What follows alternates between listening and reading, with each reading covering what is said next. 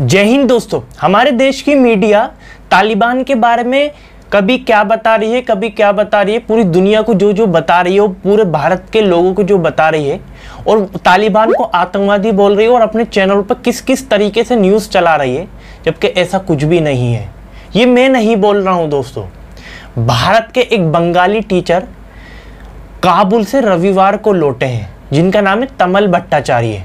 उनका ये कहना है उनका कहना यह है कि जो मीडिया तालिबान के बारे में जो चीज़ें चला रही है, ऐसा बिल्कुल भी नहीं है। वो लोग चैनलों पर चला रहे हैं जो काबुल में है ही नहीं। अपने देश में बैठकर बहुत दूर काबुल से, तालिबान से बहुत दूर वो अपने चैनलों पर क्या से क्या चला रहे हैं, जो अपने मन मर्ज़ी कर रहा है, वो अपने चैनल पर चला रहे हैं। तमल भट्टाचार्य रविवार को काबुल से भारत लौटे हैं और उनका कहना यह है कि तालिबान के बारे में वो लोग जान ही नहीं सकते जब तक वो काबुल ना पहुँचे और तालिबान से ना मिले। उनका कहना यह है कि मैं रविवार को भारत लौटा हूँ और मैं तालिबान के लोगों से मिला हूँ। और उनका कहना यह है दोस्तों कि तालिबान जैसा मीडिया चला रही है, वैसा है ही नहीं। तालिबान ने मुझे सुरक्षा दी और उन्होंने मुझे कहा कि आप जब तक अफ़गानिस्तान में हैं, आप सुरक्षित हैं, आपको कोई भी कुछ नहीं करेगा।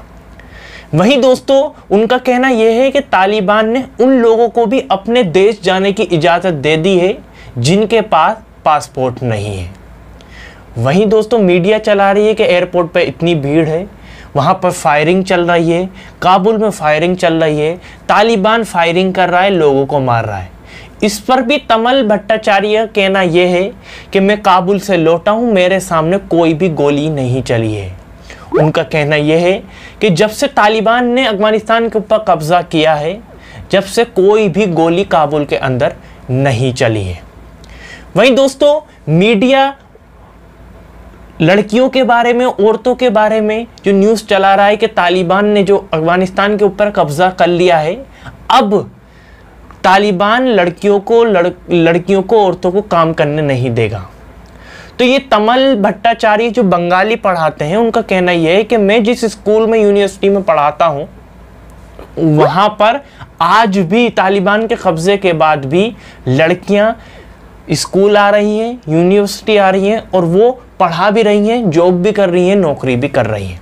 यानी इससे साफ़ हो जाता है और कि जो मीडिया हमारे देश के लोगों को बता रही है और दुनिया को बता रही है तालिबान के बारे में, वो बिल्कुल गलत बता रही है।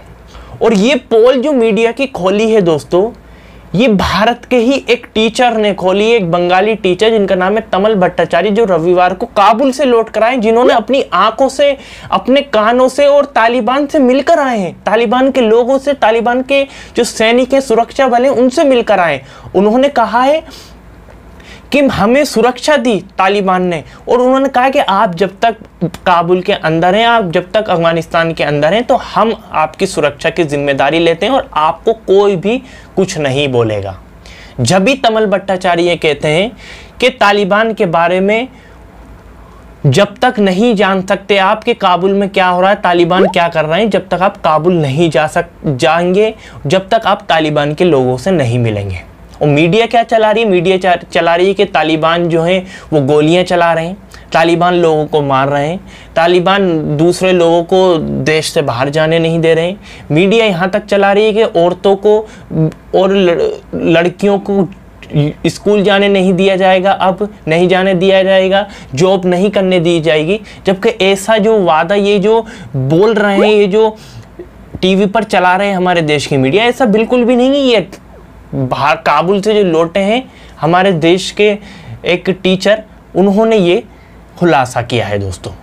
अब दोस्तों, आप सोच सकते हैं कि जो मीडिया का मन कर रहा है, जो मीडिया चाह रही है, जो मीडिया अपने मन से, जो दिल में आ रहा है, वो अपने चला रही है। जबकि ये देखिए सोशल मीडिया पर अगर सोशल मीडिया से देखकर मीडिया हमारे देश की चला रही तो उसकी ये भी तो होनी चाहिए कि हम, जबकि बोले देश के लोगों से हम इस वीडियो की ज़िम्मेदारी नहीं लेते हैं।